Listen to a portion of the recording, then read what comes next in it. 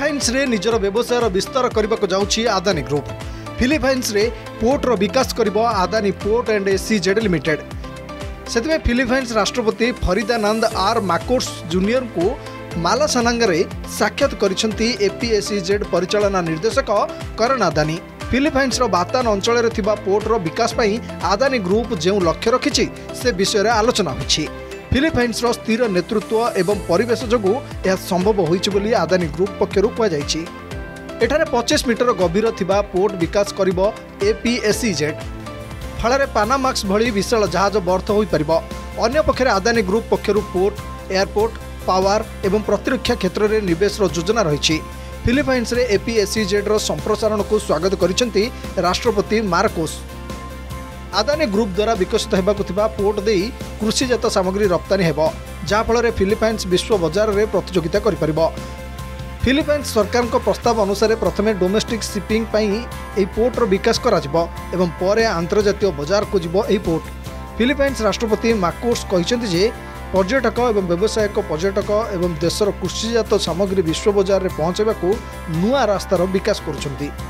Adani port and SEZ ହେଉଛି ଆଦାନୀ ଗ୍ରୁପର ଏକ ସହଯୋଗୀ କମ୍ପାନୀ ଏହା ଦେଶର ସର୍ବବୃହତ ପୋର୍ଟ ଡେଭଲପର ଏବଂ operator Adani port and S E Z ପାଖରେ ଦେଶର ପଶ୍ଚିମ ଉପକୂଳରେ ସାତଟି ପୋର୍ଟ ଏବଂ ଟର୍ମିନାଲ ରହିଥିବା ବେଳେ ପୂର୍ବ ଉପକୂଳରେ ଆଠଟି ପୋର୍ଟ ଏବଂ ଟର୍ମିନାଲ ରହିଛି। ନିକଟରେ ମାର୍ଚ୍ଚ ଏକତିରିଶରେ ଶେଷ ହୋଇଥିବା ଚତୁର୍ଥ କ୍ୱାର୍ଟରରେ କମ୍ପାନୀର ନେଟ୍ ଲାଭ ଗତ ବର୍ଷ ତୁଳନାରେ ଛଅସ୍ତରୀ ଦଶମିକ ଆଠ ସାତ ପ୍ରତିଶତ ବୃଦ୍ଧି ସହ ଏହା ଦୁଇହଜାର ଚଉଦ ଦଶମିକ ସାତ ସାତ କୋଟି ରହିଛି। ସେହିପରି ଏହି ସମାନ ଅବଧିରେ ମୋଟ ଆୟ ସାତ ହଜାର ଶହେ ଅନେଶ୍ୱତ ଦଶମିକ ନଅ ଚାରି କୋଟିକୁ ବୃଦ୍ଧି ପାଇଛି। ମୋଟ ଖର୍ଚ୍ଚ ଚାରି ହଜାର ଚାରିଶହ ପଚାଶ ଦଶମିକ ପାଞ୍ଚ ଦୁଇ କୋଟିକୁ ବୃଦ୍ଧି ସତ୍ତ୍ୱେ ଆଦାନୀ ପୋର୍ଟ ଆଣ୍ଡ ଏସିଜେଡ୍ର ନେଟ୍ ଲାଭ ଦୁଇହଜାର ତେଇଶ ଚବିଶ ଆର୍ଥିକ ବର୍ଷରେ ପଚାଶ ପ୍ରତିଶତ ବୃଦ୍ଧି ସହ ଏହା ଆଠ ହଜାର ଶହେ ତିନି ଦଶମିକ ନଅ ନଅ କୋଟି ରହିଛି।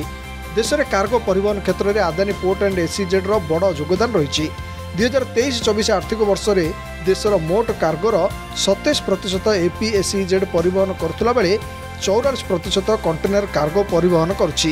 ଏଥିସହ ଏହି ବର୍ଷରେ ଭାରତୀୟ ପୋର୍ଟଫୋଲିଓର ଦଶଟି ପୋର୍ଟ ସର୍ବାଧିକ କାର୍ଗୋ ପରିବହନରେ ସକ୍ଷମ ହୋଇଛନ୍ତି। Bureau report Argus news.